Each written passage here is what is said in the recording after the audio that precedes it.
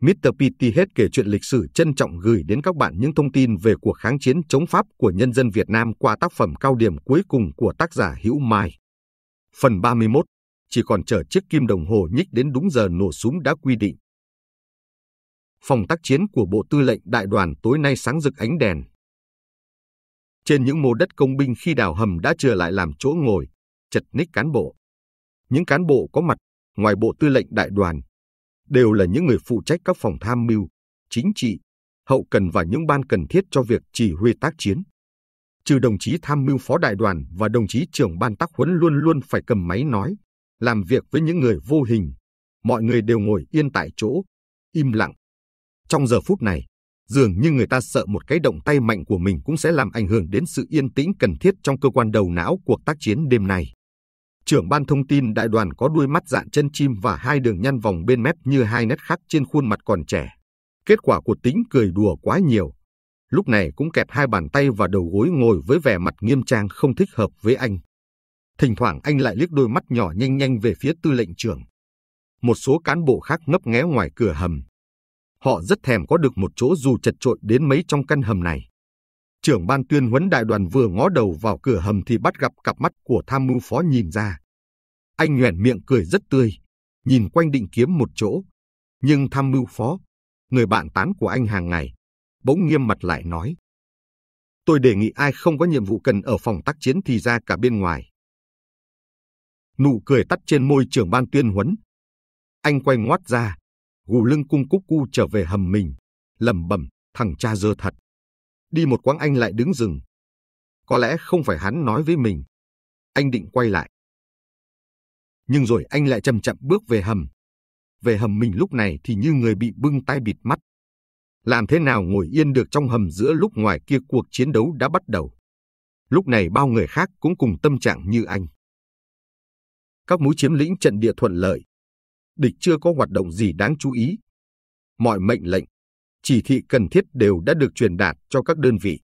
Chỉ còn chờ chiếc kim đồng hồ nhích đến đúng giờ nổ súng đã quy định. Ánh sáng của ngọn đèn dầu lớn làm cho bộ mặt rám nắng của tư lệnh trưởng Tư nhuận lên. Hai đốm lửa động trong đôi mắt vừa nghiêm khắc vừa chan hòa tình thương của anh. Tư lệnh trưởng nhìn đồng chí trưởng phòng hậu cần mặt chưa già lắm nhưng đầu đã bạc trắng, hỏi. Chiều nay đồng chí có kiểm tra xem các đơn vị họ chuẩn bị cơm nước cho anh em ngày mai trên đồn thế nào không? Báo cáo đồng chí, có cơm nắm ăn với thịt lợn, và có nước đường. Đạn súng cối và đại liên chuẩn bị mấy cơ số. Tất cả các loại đạn đều chuẩn bị bốn cơ số. Kiểm tra chưa? Đã. Chính ủy ngồi cạnh tư lệnh trường mở sổ tay viết mấy con số ngày mùng 6 tháng 5 năm 1954 thật đậm nét, rồi gấp lại. Anh rất thích viết nhật ký, nhưng công tác bận rộn làm quyền nhật ký của anh luôn luôn bị đứt đoạn, bỏ cách nhiều ngày. Anh đành phải đánh dấu những ngày đáng ghi, làm chỗ dựa cho trí nhớ. Khi nào có thời gian anh sẽ viết lại. Mọi sự cố gắng của đơn vị đều được dốc ra nhằm giành lấy thắng lợi đêm nay. Anh có nhiều cơ sở để tin là đơn vị mình lần này sẽ chiến thắng. Nhưng trong một trận chiến đấu quyết liệt như thế này giữa ta và địch, không thể chỉ tính một chiều. Biết đâu không có những khó khăn mới mà mình chưa lường hết được nếu đêm nay tiêu diệt nốt hai cao điểm cuối cùng ở khu đông. Trong đó A1 là vị trí then chốt, là coi như ta đã phất cao lá cờ chiến thắng trên đầu thằng địch ở Điện Biên Phủ rồi. Ngày toàn thắng của chiến dịch không còn xa nữa. Nhưng nếu đêm nay lại gặp khó khăn, chiến dịch sẽ kéo dài chưa biết đến ngày nào. Mùa mưa sắp tới, cuộc chiến đấu sẽ gian khổ bội phần. Ta sẽ phải chiến đấu với địch bằng những công sự nổi, những chiến hào nổi trên cánh đồng nay mai ngập nước lũ sự tiếp tế lương thực, đạn được cho hàng mấy vạn bộ đội dân công. Trên con đường dài rằng giặc luôn luôn bị bom địch phá hoại từ hậu phương ra tiền tuyến, sẽ vô cùng khó khăn. Mấy hôm nay có tin hạm đội thứ bảy của đế quốc Mỹ đã túc trực ngoài khơi sẵn sàng nhảy vào vòng chiến. Ngay tại đây, dựa vào ý thành thật muốn điều đình để chấm dứt cuộc chiến tranh này, bọn địch đang bắt bí chúng ta với đề nghị ngừng bắn một thời gian, cho chúng hạ máy bay xuống chuyển thương binh đi. Chúng không thương xót gì những tên lính đánh thuê của chúng. Nhưng để hàng mấy ngàn tên lính đã trở thành vô dụng trên một khoảng đất đã bị quân ta dồn lại quá chặt, gây những khó khăn lớn cho chúng trong việc tiếp tế và duy trì tinh thần những tên hiện còn chiến đấu được. Với đề nghị này, âm mưu chính của chúng là muốn nhân thời gian hòa hoãn, tranh thủ chuẩn bị giáng cho ta một đòn hiểm ác để cứu vãn lại tình thế. Mọi mặt tình hình đều thúc đẩy ta phải nhanh chóng giành lấy thắng lợi cuối cùng. Lúc này nhiệm vụ của đảng giao cho đơn vị anh đã qua tay những người cán bộ cấp trên như anh, đặt xuống đôi vai gầy của những người trực tiếp cầm súng chiến đấu. Sau những ngày đêm làm việc mất ăn mất ngủ, giờ phút này anh cảm thấy rảnh rỗi. Khi anh còn trực tiếp tham gia vào việc chuẩn bị diệt địch anh không thấy hồi hộp như lúc này. Hình ảnh những người cán bộ, chiến sĩ sắp bước vào cuộc chiến đấu lần lượt hiện ra trong dầu anh. Tình thương yêu họ dội lên trong người anh. Anh đưa mắt nhìn tư lệnh trưởng. Ở đồng chí này người ta chỉ nhận thấy tư tưởng tình cảm của anh khi anh cất tiếng nói. Bao nhiêu tâm trạng sâu kín của anh đều bật ra theo những câu nói.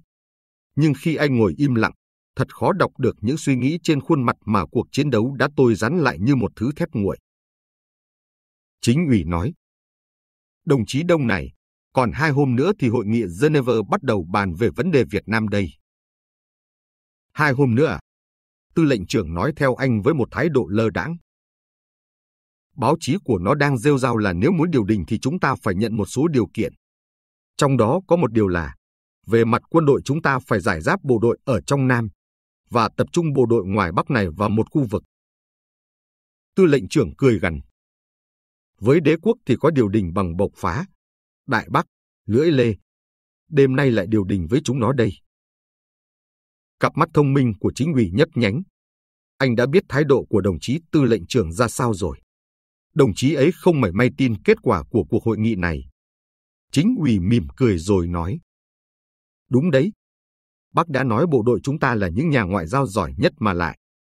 Tiêu diệt xong cái điện biên phủ thì nhất định những điều kiện thằng địch đặt ra với chúng ta sẽ khác.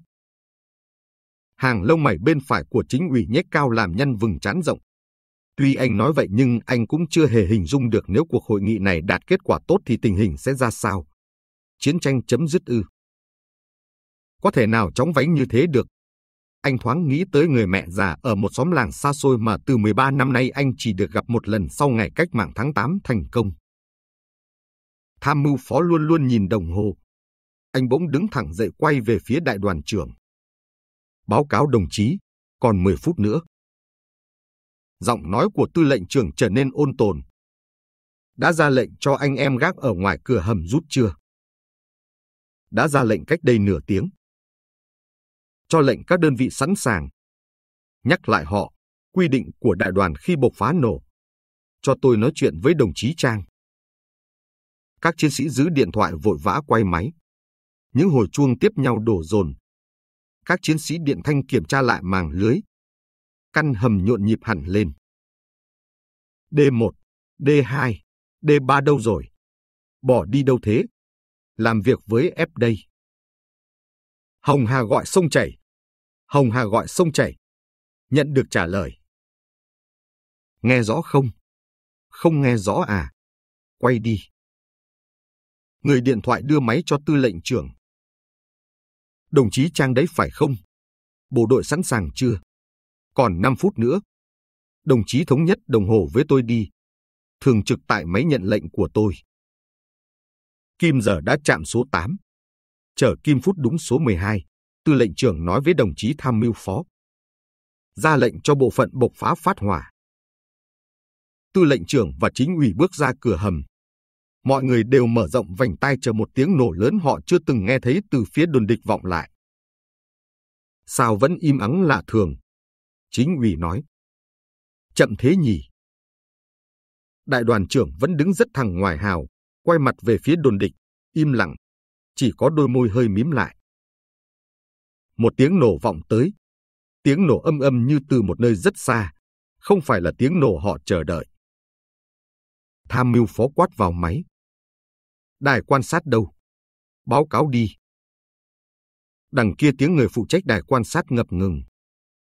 Trên đồn địch có ánh lửa và một đám khói lớn. Có lẽ đúng. Có lại có lẽ. Quan sát kỹ lưỡng, trả lời cho chắc chắn. Trong lúc đó không biết một tiếng nói ở đâu xen vào. Không phải bộc phá đâu. Tiếng nổ nhỏ lắm. Có lẽ là đạn đại bác quát sâu đấy. Ở đâu nói đấy? Tham mưu phó hỏi. Tôi ở đài quan sát trung đoàn đây. Tư lệnh trưởng đã từ ngoài cửa hầm quay vào đứng bên anh. Họ báo cáo thế nào? Họ nói trên đồn có lửa và có khói, nhưng tiếng nổ nhỏ nên họ chưa biết rõ có phải bộc phá tấn nổ hay là đại bác khoét sâu. Cho tôi nói chuyện với đồng chí Trang. Khác với những lần trước, tối nay, đại đoàn trưởng chưa hề tỏ vẻ nóng nảy. Cả căn hầm lặng đi, một thứ im lặng nặng trĩu. Bao con mắt đổ dồn cả về phía tư lệnh trưởng đang đứng. Tình hình thế nào, đồng chí Trang? Bộc phá nổ chưa? Báo cáo đồng chí, tôi đang cho kiểm tra. Đề nghị đồng chí chờ một tí. Bình tĩnh mà hỏi anh em, tôi chờ ở máy. Nét mặt đại đoàn trưởng vẫn thản nhiên. Duy có đường gân chạy dọc trên trán là nổi hàn hẳn lên như một dòng nước đang từ mái tóc cắt ngắn hoa dâm chảy xuống. Ống nghe bên tai anh bỗng sôi lên ủng ục. Không phải quay nữa, tôi vẫn chờ đây. Đằng kia tiếng trang hấp tấp. Báo cáo đồng chí Đông, bộc phá nổ rồi. Bộ đội đã bắt đầu sung phong. Tôi di chuyển sở chỉ huy theo bộ đội ngay bây giờ. Đồng chí chính ủy ở lại đây để nhận lệnh của đồng chí. Khối bộc phá một ngàn cân nằm trong lòng đồi A1 đã nổ. Nhưng vì ở sâu dưới đất nên tiếng nổ không to lắm. Sau khi nghe tiếng nổ, Vinh quay lại thấy khói đang cuồn cuộn bốc lên trên đồn địch. Anh định ra lệnh xung phong thì có điện thoại của tham mưu trưởng trung đoàn. Các đơn vị chưa xung phong vội, đợi kiểm tra xem bộc phá nổ chưa đạt. Chờ một lúc vẫn chưa có lệnh. Trong khi đó trên đồn địch khói vẫn tuôn lên. Vinh giận chân lầm bầm, lại như chuyến trước thì ăn mày. Bỗng có tiếng quân ở phía trên gọi xuống. Đồng chí Vinh, mũi điểm sung phong rồi. Vinh vội thét. sung pho o ong. Lệnh của anh chỉ còn có tác dụng với một số đơn vị ở phía sau. Đại đội một ở phía trước sau khi bộc phá nổ, đã được lệnh của đại đội trưởng khỏe sung phong rồi. Vinh vội vã chạy vượt qua một số chiến sĩ vào chân đồn địch. Trung đội bộc phá của đại đội một đã mở xong nốt những hàng dây thép gai còn lại, đang xông lên đánh vào ụ thằng người. Đứng một lúc, Vinh thấy ba chiến sĩ vác bộc phá tiến đánh ụ thằng người đều bị thương vong vì luồng đạn đại liên từ đó bắn ra đi sát xịt giáp mặt đất. Mấy khẩu trung liên của ta châu và yểm hộ bắn như chút đạn vẫn không tiêu diệt được khẩu đại liên này. Đại đội trưởng khỏe tỏ vẻ sốt ruột. Anh lại ủ súng gạt một đồng chí bắn trung liên ra, bảo một chiến sĩ mang bộc phá. Đồng chí lên đi, bỏ thật sát mặt đất, tôi yểm hộ cho. Vinh nhìn đạn lừa vạch đường thấy khỏe bắn rất trúng đích. Bụi lầm lên phía cây đa cụt. Nhưng người chiến sĩ mang bộc phá bò lên được một quãng lại bị luồn đạn địch tuôn ra cuột ngã. Vinh lại bên khỏe nói. Không bộc phá nữa. Xuống củng cố lại bộ đội chờ lệnh. Anh quay lại bảo tiểu đội trưởng liên lạc Huy.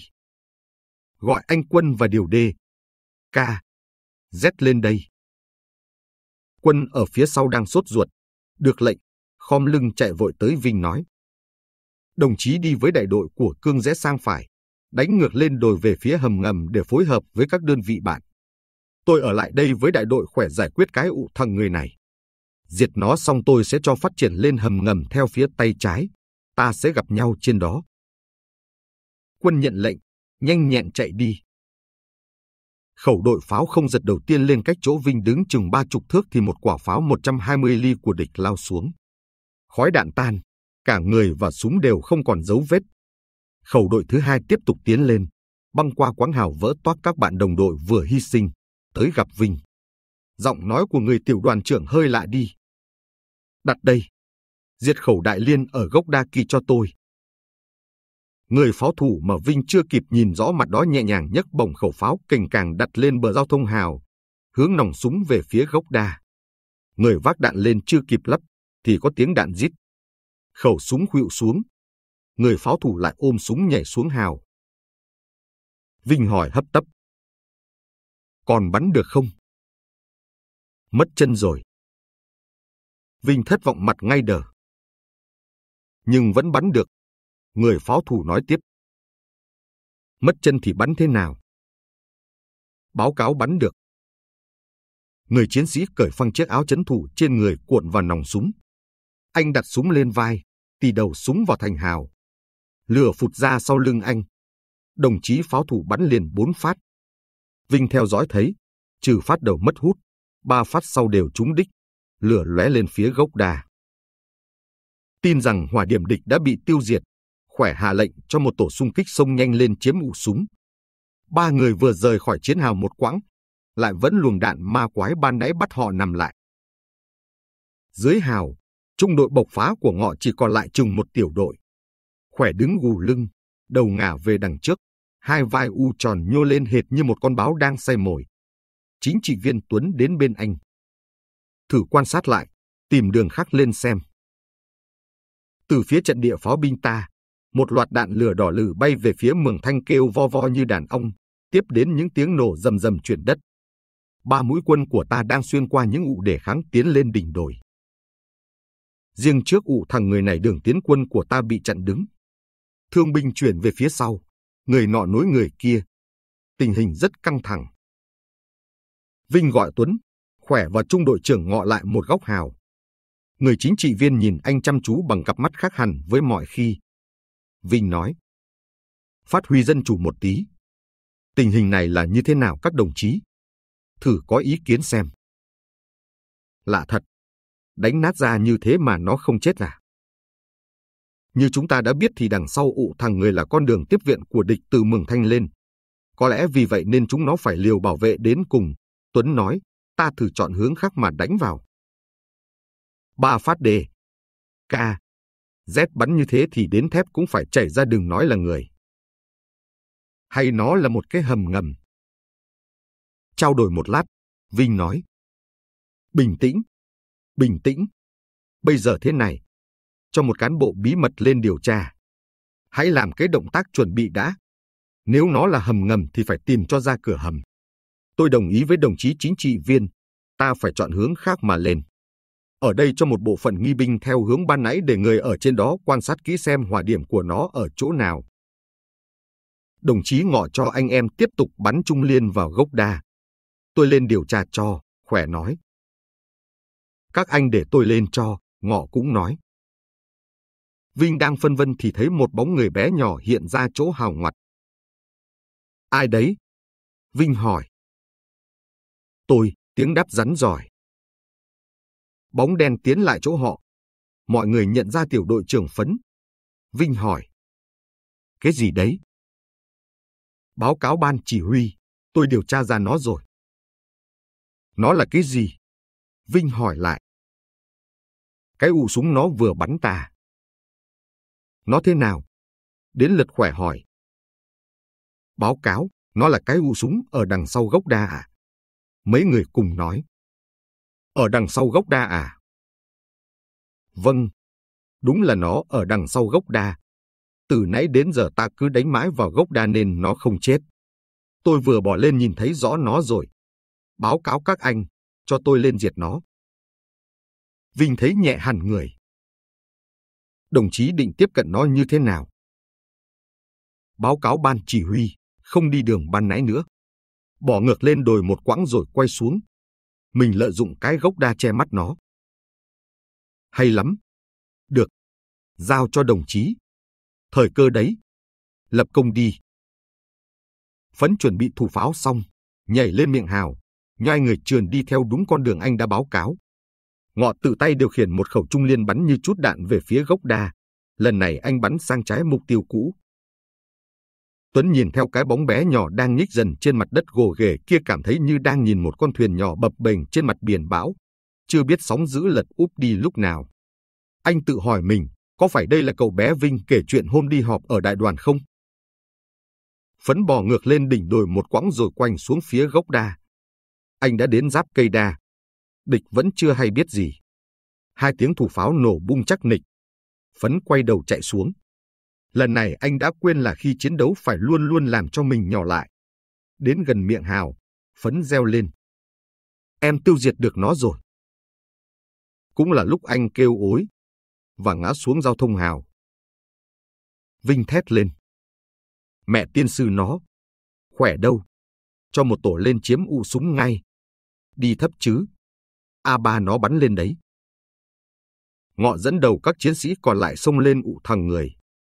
Họ tìm được một cái u súng thấp tịt gần ngang mặt đất. Phía sau cây đa cụt đã bị pháo ta bắn vỡ toác.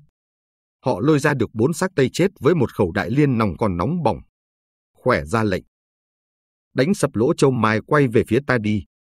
Mở một lỗ, quay súng lại, bắn xuống A3. Phấn bị thương vào chân, được Tuấn ra lệnh cho hai chiến sĩ cáng gấp về phía sau. Vinh lên đến cây đa cụt. Anh không nhảy vào ụ súng. Anh tiếp tục đi sâu vào phía trong. Bỗng anh kêu lên. Được việc đảng, chính phủ rồi. Anh đã đứng trên con đường hằn vết xe tăng địch. Anh dậm chân xuống mặt đường liền mấy cái. Hết phần 31, cao điểm cuối cùng của tác giả Hữu Mai. Xin chào và hẹn gặp lại các bạn.